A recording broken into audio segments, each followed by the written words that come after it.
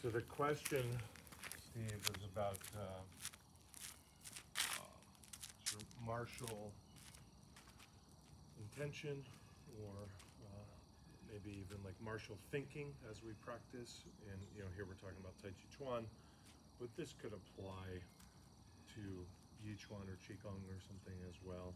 But it's certainly a, a common consideration for somebody doing Tai Chi Chuan.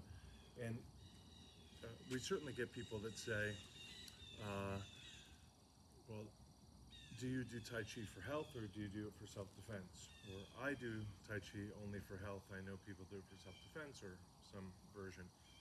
Um, my take is that um, all of it is for health. Um, that's not to say that uh, none of it is for self defense. What I mean is that if you're doing Tai Chi for health and it's for your GI tract and uh, you know the the um, um, stimulation of your nervous system and the, the movement of your joints and the development of posture and breath and you know uh, that's for health okay? It helps my arthritis and my colitis and whatever right? Great. But that's kind of chronic health in, in, in the sense that, that that's an ongoing thing the, the health of your hamstrings the, the, uh, the uh, movement of fluids through the area of bursitis, the uh, stimulation of bone density or whatever's going on. That's all chronic. Uh, I don't mean chronic in the normal healthcare concern of I have this chronic issue with my elbow, meaning ongoing. Uh, what I mean is the ongoing consideration of the health of the body, circulation, posture, activation, range of motion, that sort of thing. So Tai Chi for health is addressing your health in this chronic way. When you're walking down the street and the guy jumps out to grab your cell phone because you're sort of mindlessly not aware of your surroundings and you have a brand new phone and you're whatever you're going to do, now you have an acute healthcare concern. Right now, this guy's choking me or bending my arm back to get my phone or punching me or whatever, it's still health. It's very acute. We need to do this right now, but that's an acute healthcare concern. Um, and so I think of Tai Chi as, as all of it is about health. And the chronic health is a bigger part of your life that's every day all the time. I don't think you're getting mugged very often and even when you do it's a very brief thing although it might have lasting effects. Um, and i don't think you're picking fights all the time either. So the acute stuff it tends to be um, a, a, small part of your life in terms of uh, time.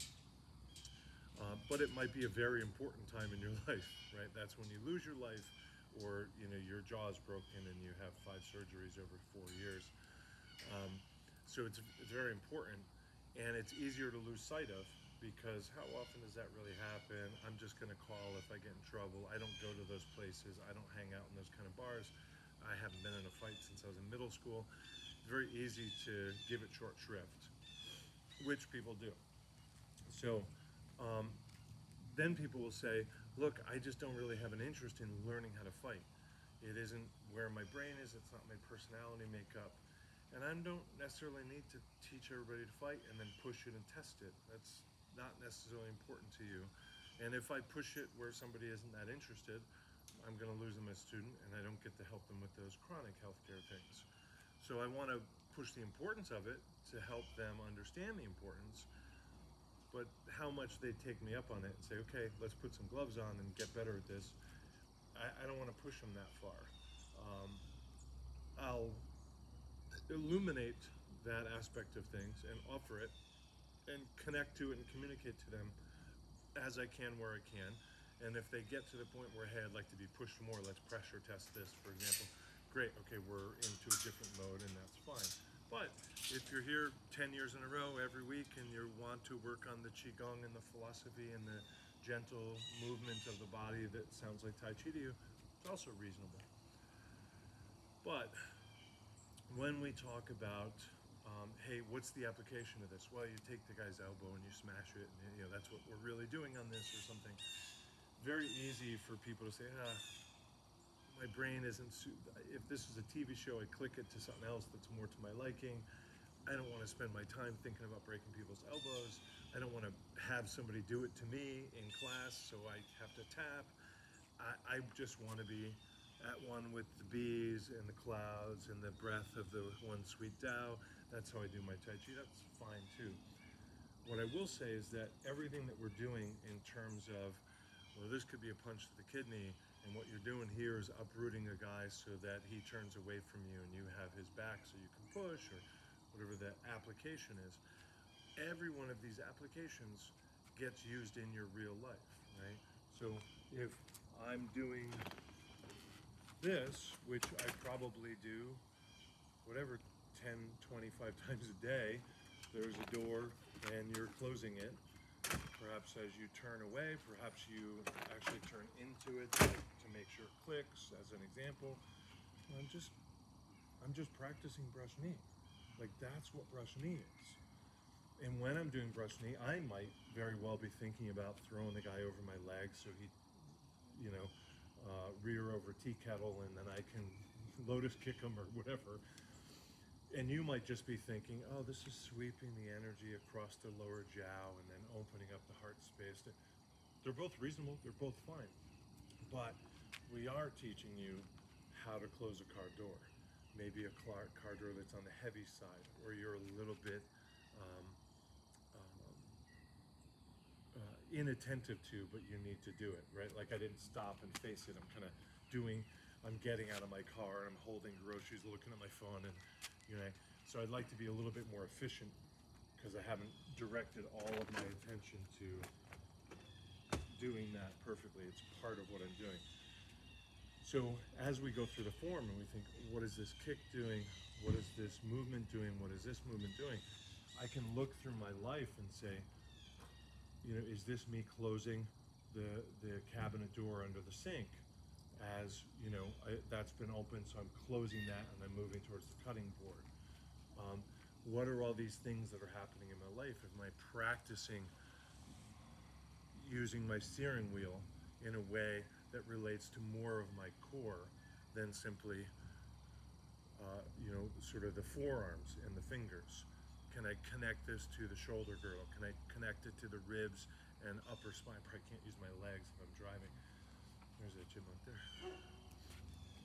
So, um, when we think about what's this for, it's very easy, particularly for like a like a longtime martial artist like me, to well, if you have a guy coming from this angle and it's a downward thing, but he has a knife, that's what this move is for.